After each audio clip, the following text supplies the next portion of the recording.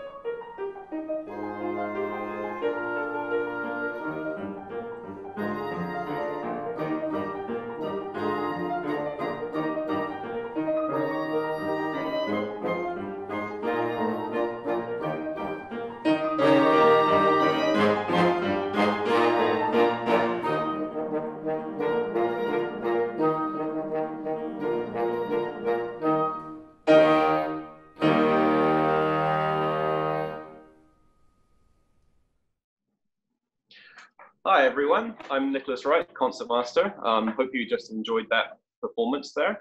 So uh, I'm here in Vancouver with Beth Orson, and we are very, very thrilled to uh, introduce you to Henry Shapard, who is with us from New York. Hi, hi guys. Hi. Hi. So, um, Henry, it's been a long time since we had a, a principal cello, and uh, we're really thrilled that uh, we found you, and we're looking forward to joining us when we all get together. Um, uh, tell us a little bit about yourself and um, and, and and and maybe a little bit the the project that we we sort of uh, we came up with and you came up with Charles. Yeah, so first of all, I would say, well, I'm very grateful to have been found um, because for me, this is really a, a dream position. Um, the VSO is a really extraordinary group of musicians, and I have come to realize over the last couple of months just how important the sense of sort of musical companionship is to the idea of the VSO, which is why, even though I'm not supposed to start until September, I really jumped at the opportunity to participate in some of these chamber music projects. Um, so during my you know my sort of hiring process, I did an audition in November of 2019, um, and at the end of that audition, I was asked to do a trial week in January, at the end of January. So I came to Vancouver in January, um, and then after that, um, I was asked to come back at the beginning of March um, to play another program and to also play through some standard rep um, principal cello solos with the orchestra. That was really fun. And what I would say for me was the most rewarding thing about that whole experience was already developing really close connections to VSO members. Um, and so you'll note Nick and I spent a lot of time together during those trial weeks, but um, have sort of carried that over now into the pandemic era. Um, short, shortly after I officially accepted the position, Nick and I got in touch thinking it might be fun to do a, a project, the two of us. Um, we were, you know, Nick proposed the air on a G string, and then quickly re- we realized, you know, since we have a computer, why not just multiply each of us by two? Um, so that's exactly what we did. Um, so I promise that the VSO has not hired twins. Um, there's only one of me. Um, but for the quartet that we did, I play both the the cello and the viola part, and um, and Nick plays the the first violin, the second violin part. It was really great to put together, um, and it was neat getting the experience of kind of making a project like this in slow motion, um, and then also to you know to to rope in Charles Inkman here. Charles was one of the friendliest faces when I arrived in Vancouver, um, and spend a lot of time talking cello stuff, VSO cello stuff, especially since he is he's been in the VSO for 35 years, so he's been around the block. He's seen a lot, um, and so I thought it would be really fitting to do a project with him too, um, to have sort of the whole musical spectrum um, and spectrum um, of experience in the VSO in uh, just a duet. So, you know, if you can't already tell, I'm just super enthusiastic about this whole uh, process, the opportunity, and as, as challenging as the pandemic is, um, I'm still lucky that I've gotten the, the opportunity to share these musical experiences with VSO players right away. That's, yeah, it's great. It was, it was a lot of fun putting it together with you uh, too, Henry. Yeah. I think we, we both found that actually, we, we, we thought we'd choose a relatively uh, simple simple piece with with the Bach and, and actually I think we found that that the slow pulse uh, maybe works against you doesn't it when you when you're recording recording that way? well, it does. And I think what was funniest about that is when I did some of the preliminary editing to make sure that it would line up you can kind of watch it. It's like watching a train crash in slow motion. If the parts don't line up you can see it on the audio waves before you hear it so I think it was it was especially satisfying when we managed to fit all of the pieces together. Um, and I think the blend is pretty.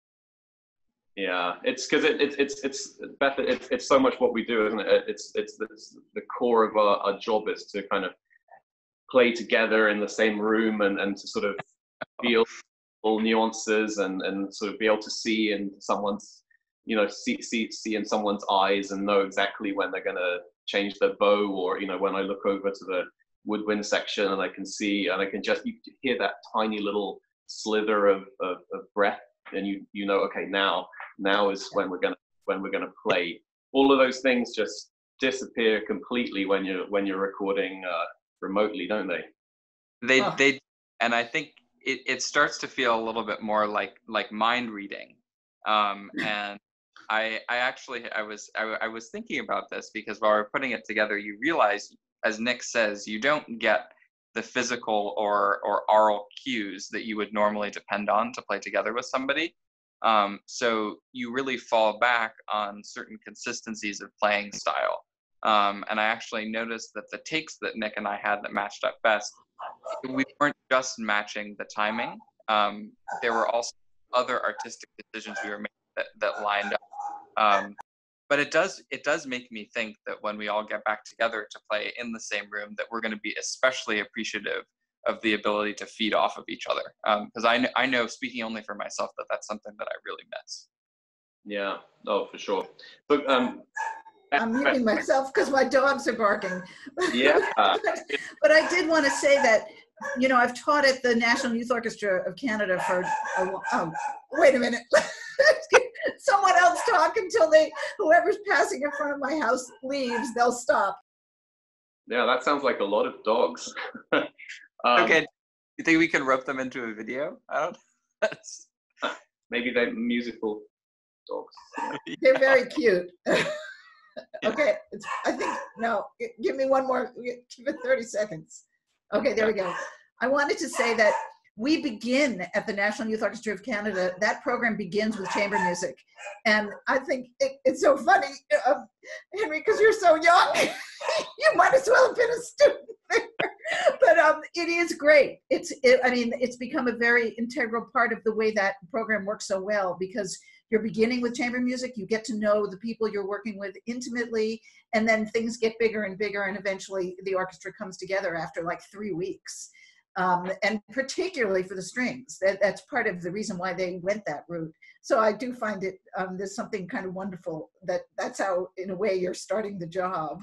Um, for sure. Well, it's it's funny. It does certain. It does certainly feel to me like a lot of this has sort of all. It, it's hit the right boundaries because I had I I or it's hit the right markers because I had a conversation with a mentor of mine um, at Yale when I was getting ready to go for my second trial week because it was my first time playing Beethoven Five. And I remember we had this whole course conversation about, well, the most effective way to really be a, a, string leader, especially in the context of Beethoven, is to sort of imagine that you're playing in a string quartet and to approach it like a quartet. And here I am thinking, okay, well, this is great. I'm going to use the quartet chamber music mentality on the orchestra stage, but now it looks like I'm using chamber music mentality. chamber music, yeah, it's great.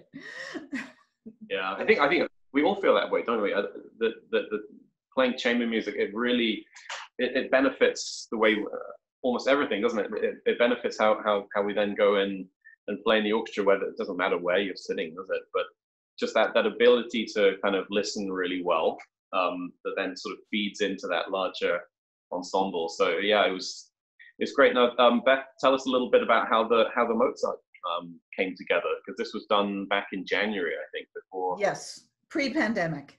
Um, yeah the reason that uh, we have this recording is that uh, we played the Mozart, um, I think now two years ago for the VSO chamber players. Um, I, I, for the, it was funny. We we played it at UBC on the uh, on a chamber music recital there, um, as well as on the VSO chamber players series, and we used two different pianists. Um, and so Bogdan had done the performance um, for UBC. He's on the faculty there as well as at the VSO School of Music. And um, then I got hired, I got asked shortly after that to give a full oboe recital on the Maple Ridge Chamber Music Society um, series. And I had, I preferred to play a concert of chamber music and we'd already rehearsed Mozart. And so we did it again last year and we added the Beethoven Piano Wind Quintet which has the same instrumentation. It's very unusual, by the way. And I also, just to put a plug for the Mozart in particular, they're both, I mean, they're both wonderful pieces. But when Mozart wrote that piece in 1784, he wrote to his father and told him that he thought it was the greatest piece he had ever composed. Um, and it is an extraordinary um, work. Uh, it's you know very operatic and it's just exquisite writing for winds. And uh, and it was a year that he was it was a year that mozart was incredibly productive he wrote like six piano concertos a string quartet i think two piano sonatas and two sets of variations as well so he was in a really good place at 28 years old um, but um, anyway so we wrote, we did gave this full recital last year on the maple ridge series and then Bogdan, our pianist, um, was hoping to um, line up some more concerts. We actually were supposed to have done that full program in January on at, on the islands, on um, Hornby Island and Denman, and that there was a blizzard. So they got canceled. So we rescheduled for May. So now we'll have to cancel again because of a pandemic. Um, but he wanted us to get together and just record the some the two quintets and just so that he'd have it for some marketing and so that's why we have them and they and we just ran them down i mean there's no editing we just went in played the two quintets and left and you know So, but when we remembered they were available, that's how, that's why we have them. Uh, brilliant. Yeah, I, well, I think I think we're um, Henry. You and I are, are, very lucky with the with the amount of chamber music available to us, aren't, aren't we? But I, I, know I know the winds uh, slightly less, slightly less um, to pick from, but but yeah, that, that's a gem, isn't it? So um, it sounded beautiful. So um, this was uh, great to see you guys, and I, I can't wait until we actually are all together again in the same room. yeah, me too. That, that's going to be fun. Yeah. So um, beautiful uh, performances. Thank you for this. And um, to everyone out there, thank you to our subscribers, our donors, um, our sponsors. Um, and if you haven't had a chance yet to donate to the to the VSO, then, then please do because we need your help more than ever. Thank you. Thank you. Thank you, Nick.